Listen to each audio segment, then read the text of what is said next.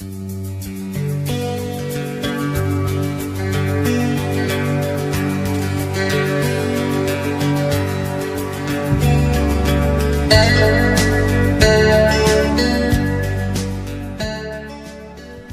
paso del tiempo ha dejado entrever lo que de auténtico y firme permanece de un pasado no tan lejano en el Valle de Sabero.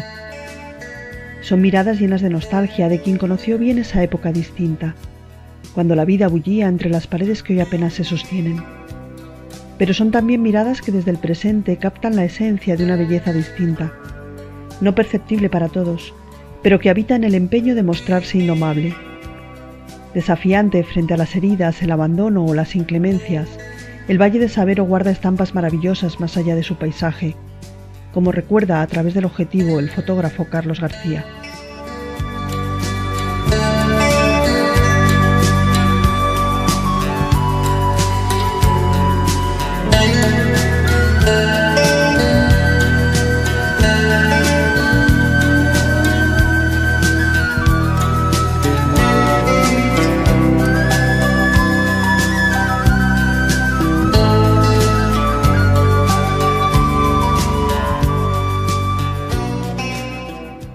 Dejen que les guíe con el paso acertado por unos caminos recorridos mil veces, donde se posa la vista y el corazón se acomoda, allí donde las texturas son caricia para los sentidos y el sabor a metal se nos anuda en la garganta.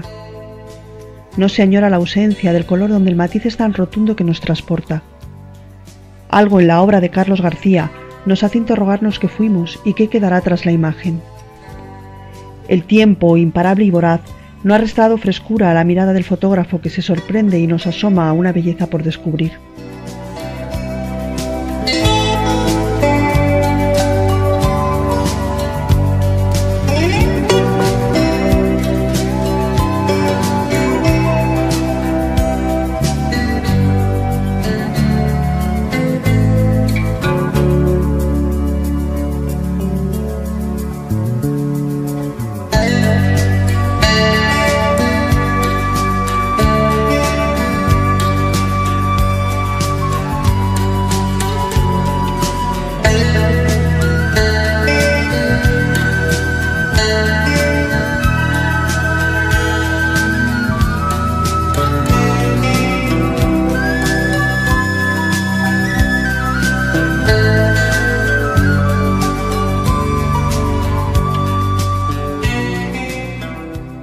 Sus imágenes nos invitan a desterrar los cánones de la superficialidad y a poner en valor la efímera perfección de lo que aún permanece.